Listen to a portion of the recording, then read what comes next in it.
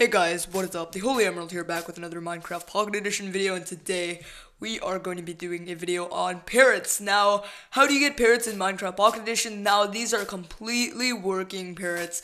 Now, this can be accessible from the parrot add-on which I will be um, putting the download link below in the description. And as you can see, works like uh, magic and they're squeaking, squawking, whatever you want to call it, um, chirping. Yeah, of course, they're chirping.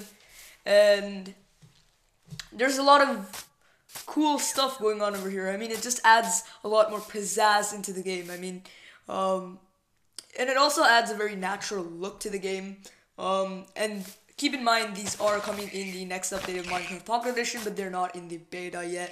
And you can also change color of these parrots, since this is a resource pack. As you can see, the color just changed. And yeah, this mod is pretty self-explanatory. No need for too much detail going on over there, but um, as you can see, now we have green parrots. We can't have all color parrots at the same time, but this is just out of the world. I think these are actually bats that are retextured and modded um, for behavior, but I, I, I don't really know, guys. I, I don't really know. I didn't create the mod. But thank you guys for watching. Please rate, comment, subscribe, and goodbye for now.